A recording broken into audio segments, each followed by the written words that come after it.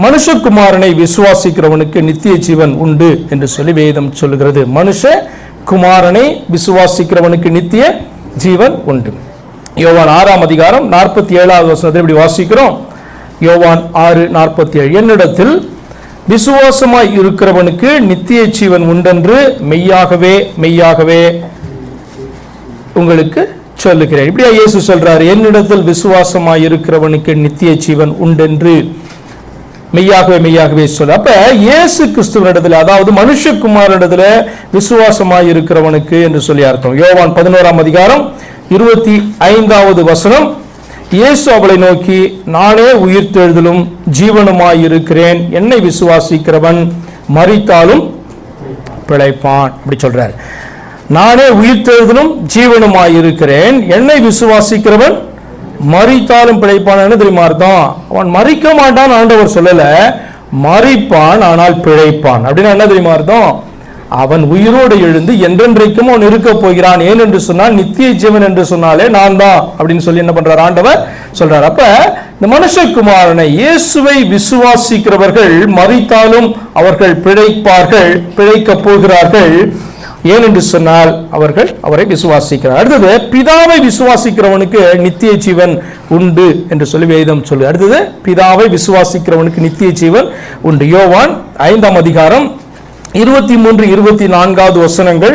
வசனத்தை கேட்டு என்னை அனுப்பினவரை விசுவாசிக்கிறவனுக்கு நித்திய ஜீவன் உண்டு.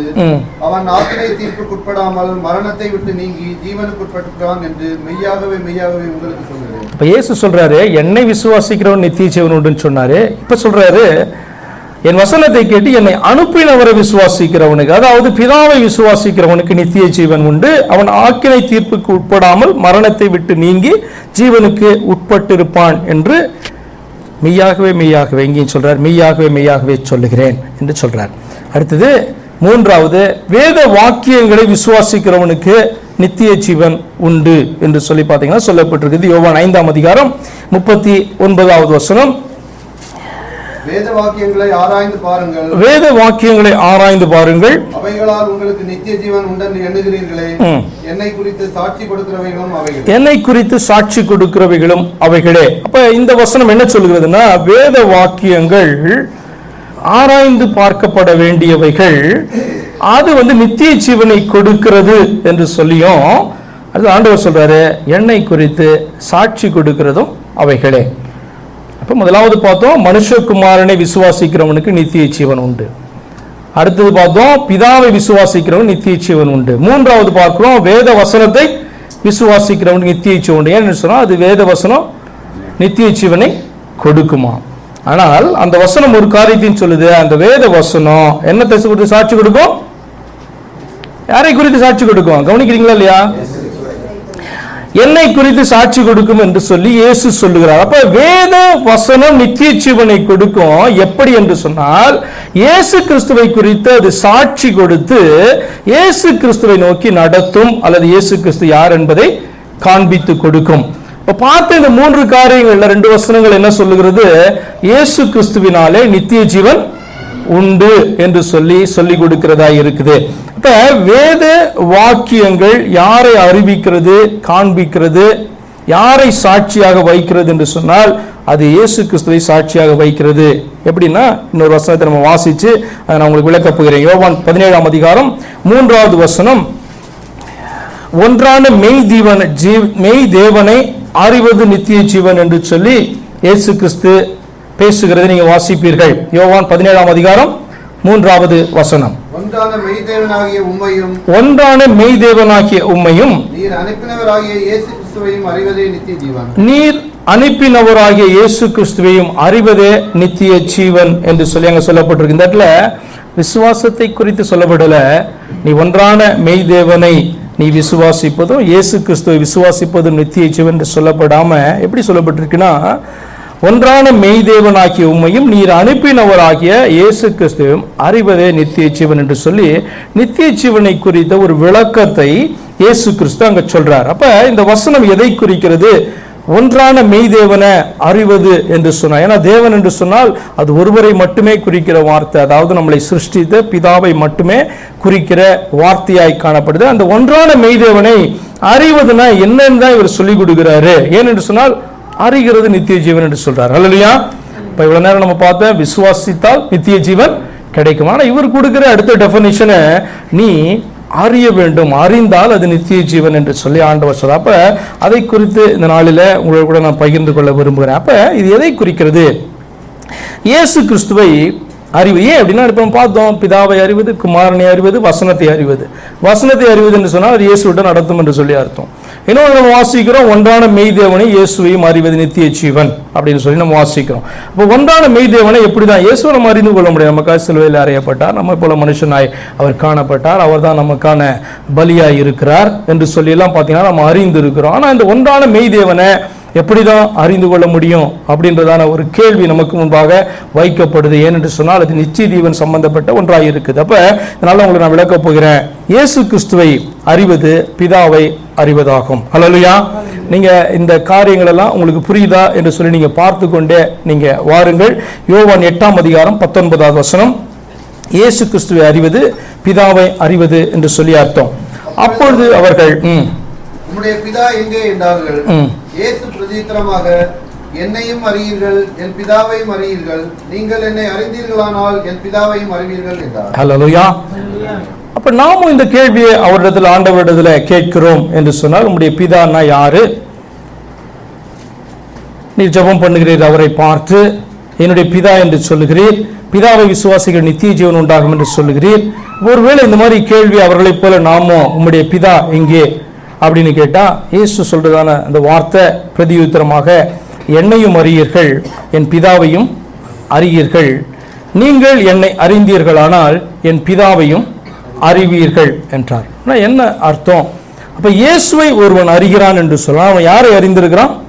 அவன் பிதாவை அறிந்திருக்கிறான் என்று சொல்லி அர்த்தம். ஏன் அப்படின்னா அவர் நமக்கு முன்பாக அவர்களுக்கு முன்பாய் காணப்படும் பொழுது அவர்கள் அவரை கேட்கிறாங்க பிதாவை எங்களுக்கு காண்பியும். பிதாவை அறிய வேண்டும். யார் உம்முடைய பிதா? என்று சொல்லி கேட்கும் பொழுது அவர் சொல்றாரு அவர்கள் முன்னாடி நின்று கொண்டே சொல்றாரு. என்னையே உங்களுக்கு தெரியல. அப்ப இயேசுவை ஒருவன் அறிகிறான் என்று சொன்னால் அவன் யாரை அறிகிறான் அப்படின்னு சொன்னா அவன் தேவனை அறிகிறான் அவன் பிதாவை அறிகிறான் என்று சொல்லி அர்த்தம். அப்ப பிதாவை எப்படி அறிய முடியும்? அல்லது ஒன்றான மெய்தேவனை எப்படி அறிய முடியும் அப்படின்னு சொன்னா அனுப்பப்பட்டவராகிய இயேசுவை அறிவது அவரை அறிவது என்று சொல்லி அர்த்தம். உங்களுக்கு புரியல அப்படின்னு சொன்னா ரொம்ப சிம்பிள். அவரே இறங்கி வந்தாதான் அவரை அறிந்தால் நம்ம என்ன பண்றோம்? பிதாவை அறிந்திருக்கிறோம் என்று சொல்லி அர்த்தம். இயேசு கிறிஸ்துவை காண்பது பிதாவை காண்பது என்று சொல்லி அர்த்தம். இயேசு கிறிஸ்துவை காண்பது பிதாவை காண்பது என்று அர்த்தம். யோவான் பனிரெண்டாம் அதிகாரம் நாற்பத்தி ஐந்தாவது வசனம். யோவான் பனிரெண்டு நாற்பத்தி ஐந்து. என்னை காண்கிறவன் என்னை அனுப்பினவரை காண்கிறான். என்னை காண்கிறவன் என்னை அனுப்பினவரை காண்கிறான் என்று சொல்றார். எப்படி எப்படி இருக்க முடியும்? இந்த வசனத்தினுடைய பொருள் தான் என்ன? என்ன ஆண்டவர் மீன் பண்றாரு? இப்போ நான் ஒருவரை ஒருவரிடத்தில் அனுப்புகிறேன் அப்படின்னு சொன்னால் இவர் அனுப்பினார். இவர் அனுப்பினபடினாலே அல்லது இவருடைய சார்பாக நான் வருகிறேன் இவருடைய நாமத்திலே வருகிறேன் என்று கூட சொல்லலாம்.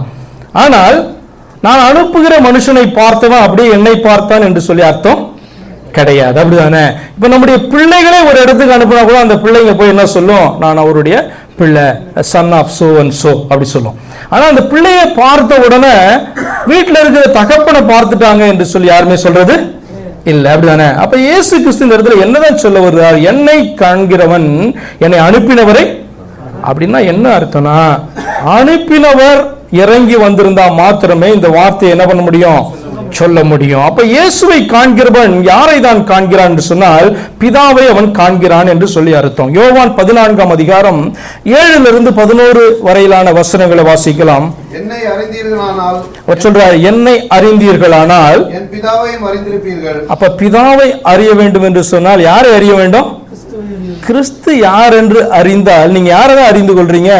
நீங்க பிதாவை அறிந்து கொள்கிறீங்க. அறிய முடியாத காண முடியாத பார்க்க முடியாத தேவனை நீங்கள் காண்கிறீர்கள் அறிந்திருக்கிறீர்கள் என்று சொல்லி அர்த்தம். இது முதல். நீங்கள் அவரை அறிந்தும் அவரை கண்டும் இருக்கிறீர்கள் என்றார். இது முதல். நீங்கள் அவரை அறிந்தும் அவரை கண்டும் இருக்கிறீர்கள் என்றார். ஏன் இப்படிப்பட்டதான வார்த்தையை சொல்றாரு? இதுக்கு முன்னாடி இப்படிப்பட்ட வார்த்தையை அவர் சொல்லல. என்னன்னா நீங்கள் அவரை அறிந்தும் அவரை கண்டும் பார்த்துட்டீங்க இப்ப அப்படின்னு சொல்றாரு. யார? பிதாவை நீங்க இப்ப பார்த்துட்டீங்க அப்படின்னு சொல்றாரு. ஏன்? மிகப்பெரிய ரகசியத்தை அவர் என்ன பண்ணார்? இப்போ வெளிப்படுத்திட்டார் அவரிடத்துல. என்ன வெளிப்படுத்திட்டாரு? பிதா உங்கள் முன்னாடி என்ன பண்றாரு? குமாரனாக மனுஷனாக மாம்சத்தில் நிற்கிறார். அதனால ஆண்டவர் சொல்றார் இது முதல் நீங்கள் அவரை அறிந்தும் அவரை கண்டும் இருக்கிறீர்கள். அப்படி சொல்றான். புரியல. புரிந்து கொள்ள கடினமான ஒரு வார்த்தை தான். அதனால தான் பார்த்தீங்கன்னா பிலிப்பு கேட்கிறான். பிலிப்பு அவரை நோக்கி ஆண்டவரே பிதாவை எங்களுக்கு காண்பியும். அது எங்களுக்கு போதும் என்றான். அதற்கு இயேசு பிலிப்புவே இவ்வளவு காலம் நான் உங்களுடனே கூட இருந்தும் நீ என்னை அறியவில்லையா? அப்படி கேட்கிறார். அப்படின்னு என்ன அர்த்தம்? இயேசுவை அறியவில்லையான்னு அவர் கேட்கல. என கேள்வியை யாரை குறித்து அப்படின்னு சொன்னா இயேசுவினுடைய பிதாவை குறித்து. பிதாவை குறித்து தான் கேள்வியே இங்க காணப்படுது. கேட்கும்போது காண்பியம் என்று சொல்லும்போது அவர் என்ன சொல்றாரு அப்படின்னு சொன்னா இவ்வளவு நாட்கள் நான் உன்னோடு கூட உங்களோடு கூட இருந்தோம் நீ என்னை அறியலையா? எப்படி பேசுற அப்படின்னு சொன்னா அவர் பிதாவாக தேவனாக அந்த இடத்துல பேசுற. என்ன நீ அறியலையா? என்னை கண்டவன் பிதாவை கண்டான். நீ பிதாவை பார்க்க வேண்டும் என்று சொன்னால் யாரை தான் பார்க்க வேண்டும்? காரணம் என்ன நினைக்கிறீங்க? ஏன் பிதாவை பார்க்கணும்னா ஏன் இயேசுவை தான் பார்க்கணும்? பிதாவினுடைய ரூபம் கர்த்தர் ஆகிய இயேசு தான் பிதாவினுடைய ரூபமாய் காணப்படுறார். அநேகர் சொல்றதை போல தேவனுக்கு ரூபம் இல்லை. ஆண்டவர் அப்படி சொல்லவே இல்லையே. ஆரம்பத்தில் என்னதான் சொல்றார் ஆண்டவர்? நமது சாயலாக நமது ரூபமாக. அப்படின்னு சொல்றாரு? நமது ரூபமாக மனுஷனை உண்டாக்குமா அப்ப தேவனுக்கு ஒரு ரூபம் உண்டு. அந்த ரூபத்துல தான் நம்மளை உண்டாக்கினார். ஹalleluya அந்த ரூபத்துல தான் பாத்தீங்கன்னா அவர் என்ன பண்ணாரு? வேறொரு ரூபத்துல அவரால் இறங்கி வர அவருடைய ரூபமே அதுதான். அந்த ரூபத்துல தான் நம்மளை உண்டாக்கினார்னு சொன்னா அந்த ரூபத்துல தான் அவர் இறங்கி வருவார் என்று சொல்லி அர்த்தம். அப்ப இயேசு கிறிஸ்து தேவனுடைய ரூபம் சரீரம் என்று சொல்வது தேவனுடைய ரூபம் தேவனுடைய சரீரமாக. இப்போ தேவனுடைய ரூபத்தையும் தேவனையும் தனியாக பிரிக்க முடியுமா அப்படின்னு கேட்டிங்கன்னா பிரிக்க முடியாது. அப்படிதானே? கொஞ்ச நாளுக்கு முன்னாடி பைபிள் ஸ்டடியில் அதில் ஒரு பேசிகிட்டு இருக்கும்போது நான் சொன்னதான காரியம். நீங்களும் போய் சிந்தித்து பாருங்கள் இந்த நாளில் பிதாவ் என்பவர் வேறொருவர் அப்படின்னு சொன்னால் நீ எவ்வளோ பெரிய பக்திமானாக இருந்தாலும் நீ இந்த நாளில் அவரிடத்துல கேட்டுப்பார். பிதா இயேசு வேற பிதா வேறொருவராய் இருந்தால் பிதாவே உம்மை எனக்கு காண்பியும் என்று சொல்லி நீ ஃபாஸ்டிங் எல்லாம் போட்டு நீ ஜெபித்துப்பார். நீ உண்மையாலுமே நீ அறியாதவனா இருந்து நீ கேட்டனா அவர் உன்னிடத்துல எப்படியா இந்த நாளில் இறங்கி வந்து அவர் பேசுவார் என்று சொல்லி நீ யோசித்து பார்ப்பா என்று சொன்னார். பிதாவே உண்மை எனக்கு காண்பியும். என் முன்னாடி இறங்கி வந்து நீர் பேசும் நான் உண்மை பிரத்யட்சமாய் பார்க்க வேண்டும். நான் உண்மை பார்க்க வேண்டும். எனக்கு நீ தரிசனமாகும். சொப்பனத்தில் எனக்கு தரிசனமாகும் என்று நீங்கள் கேட்பீர் என்று சொன்னால் அவர் உங்களுடைய ஜபத்தை கேட்டு அவர் இறங்கினார் என்றால் எப்படி இறங்குவார் என்று சொல்லி நீங்கள் நினைக்கிறீங்க? அவர் இயேசுவாக தான் இறங்க முடியும். ஏனென்று சொன்னால் அவருடைய ரூபம் இயேசுதான். அப்ப குமாரன் என்று சொல்லுவதே தேவனுடைய ரூபமாய் அது காணப்படுது. அப்ப நீங்க உண்மையிலே அறியாம நீங்க கேட்டீங்கன்னா அவர் முன்பு முன்பாக எப்படிதான் வந்து இறங்கினு பேசுவார்? இயேசுவாய் தான் இறங்கினு பேசுவார். அப்ப இதை விசுவாசியாதவன் தேவன் ஒருவர் என்பதை விசுவாசியாதவன் என்ன சொல்லுவான் நீங்க நினைக்கிறீங்க? அவனுடைய மண்டைக்குள்ள தான் ஆல்ரெடி இந்த இயேசுவே வேற ஒருவர் என்று சொல்லி ஏற்றி வைத்திருக்கிறபடினாலே அவன் சொல்லுவான் உம்மை நான் அறிவேன். நீர் வந்து இயேசு கிறிஸ்து நீர் போய் பிதாவை அப்ப பிலிப்பியனிடத்துல பேசின அதே காரியத்தை ரெண்டாயிரம் வருஷம் கழிச்சும் அவர் திரும்ப உன்னிடத்துல பேச வேண்டியிருக்க உனக்கு தெரியல. நான் யாருன்னு தெரியல. நான் யாருன்னு தெரியல. நான் உனக்கு பிதா யாருன்னு தெரிய போறதும் கிடையாது. தேவன் யாரும் தெரிய போறதும் கிடையாது. உனக்கு ரட்சிப்பு உண்டாகவும் முடியாது. அதனால யோசித்து பாருங்க. அநேகர் சொல்லுகிற காரியம் பிதா பூமிக்கு வர முடியாது. பிதாவால் வர முடியாது. அவர் நான் வர முடியும்னு சொல்லும்போது நீ என்ன சொல்றது? மண்ணில் உருவாக்கப்பட்டதான ஒரு சாதாரண மனுஷன் பிதா பூமிக்கு வர முடியாது வர முடியாது. சரி அவர் வர முடியாமையா வந்து பூமியை உண்டாக்கினார். அவர் வர முடியாமையா வந்து ஆதாமை மண்ணிலிருந்து எடுத்து அவர் சிருஷ்டித்தார். அவர் பூமிக்கு வராதபடிக்கு நம்மளை சிருஷ்டித்தார்னு சொல்லி கொண்டிருக்கிறது. எவ்வளவு மோசமான ஒரு உபதேசம் பாருங்க. அப்ப பிதாவானவர் நமக்காக பூமிக்கு வர முடியாது என்று சொன்னால் உனக்கு ரட்சிப்பு உண்டாக முடியாது என்று சொல்லி அர்த்தம். ரட்சிப்பு வேணாம்னு சொல்றேன். அப்ப ஆண்டவர் சொல்றாரு நான் நானே ரட்சகர் என்ன இல்லாம ரட்சகர் கிடையாது. என்ன இல்லாம கத்தர் கிடையாது. என்ன இல்லாம வேறொரு தேவன் என்று ஒருவர் கிடையாது. அப்படி என்று அவர் சொல்லும் பொழுது அவர் இந்த உலகத்துக்கு வந்து நம்மை அவர் ரட்சிக்க வேண்டும். பிதா வர முடியாது பிதா வர முடியாதுன்னா உனக்கு ரட்சிப்பு உண்டாக முடியாது என்று சொல்லி நீ அறிக்கை பண்ணுகிறாய் என்று சொல்லி அர்த்தம்.